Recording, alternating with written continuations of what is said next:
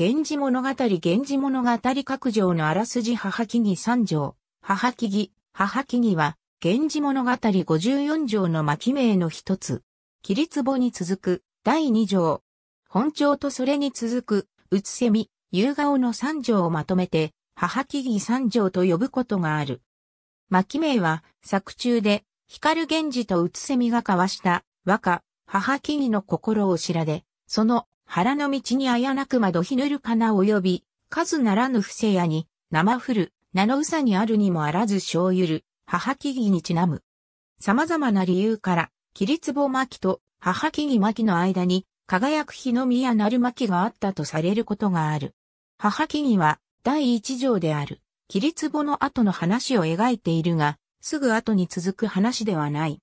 読者は数年間の時間が経過していることは感じ取れるものの、母木義巻内の本文中には、源氏の年齢は、つまり正確にいつのことかは記されていない。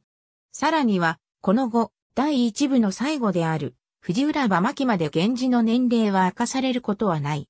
母木義巻以降の光源氏の年齢は、藤浦馬に至るまでの記述を拾い上げて、逆算していくことにより、明らかにされてきた。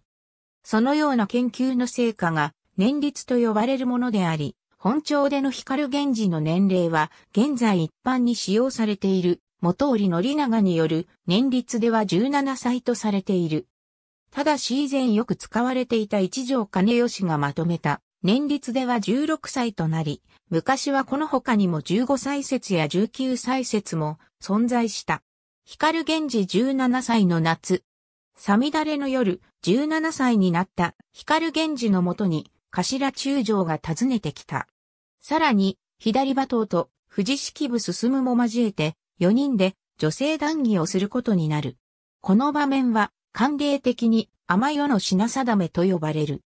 夕顔巻きには、アリシアマ夜の品定めの後いぶかしく思え星なる、品地なあるにとある。左馬頭は、妻として完全な女などない。家を治めるのは国よりも難しい。妻選びに苦労するのは公職からだけではないが、真実な心の女が望ましいと言い、体験談として嫉妬深い女が左馬頭の指に食いつき、これに腹が立ち、帰り見なかった間に死んでしまった。嫉妬さえなければ良い女であったのに惜しいという。次に、浮気な女には他に男がいて、それを見つけたので別れたという。結論としてその時々に必要な良識や判断があって、出しゃばらない謙遜している女が良いという。頭中将は、女性と付き合うなら、中の品の女性が一番良いと前置きし、駒で設けた内縁の妻の話をする。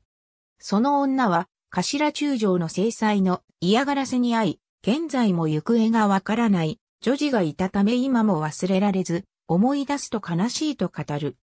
藤式部進は、博士の女に言いより、女が健常ぶっていろいろ教えてくれたが、頭が上がらず、たまたま女がニンニクを食べて臭かった時に逃げ帰ったという。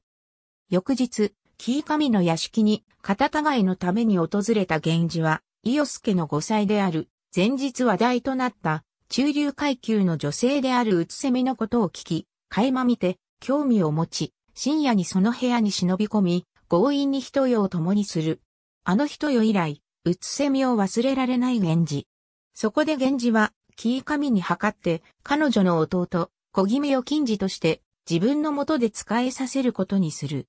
源氏から文を託された小君は、うつせみに文を届けるが、お断り申し上げなさい。と叱られる。姉の返事を源氏に伝えると、と自分になびかないうつせみを竹取物語の名代竹になぞらえる源氏だった。源氏は再び中川の家に行き、うつせみは源氏を避けて会わない。ありがとうございます。